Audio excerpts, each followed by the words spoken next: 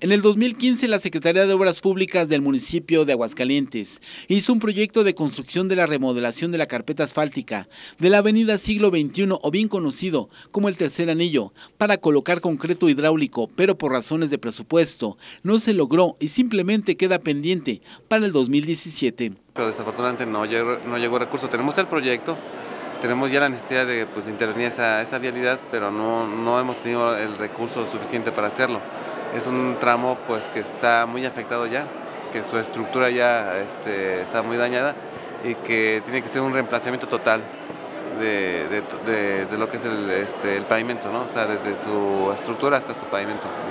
Para este 2016 se espera una partida presupuestal federal de 60 millones de pesos, pero a la fecha no se puede asegurar que llegue, porque tienen como fecha límite para recibirlo en octubre de este año. Sin embargo, la administración finaliza en diciembre y en dos meses no podrían invertirse esos recursos, según estiman el proyecto de obra pública. Esta aportación se debe de demostrar en la Secretaría de Hacienda y Crédito Público, que fue utilizado en el proyecto. De lo contrario, sería exigido que sea devuelto. El proyecto está considerado como, como concreto hidráulico. No, no creo. Este, tío, es un proyecto que teníamos el año pasado. Eh, desafortunadamente no llegó. Eh, y estaba pues, eh, en buenos caminos, pero no, no, no, no llegó. Lo dejaremos para la siguiente administración.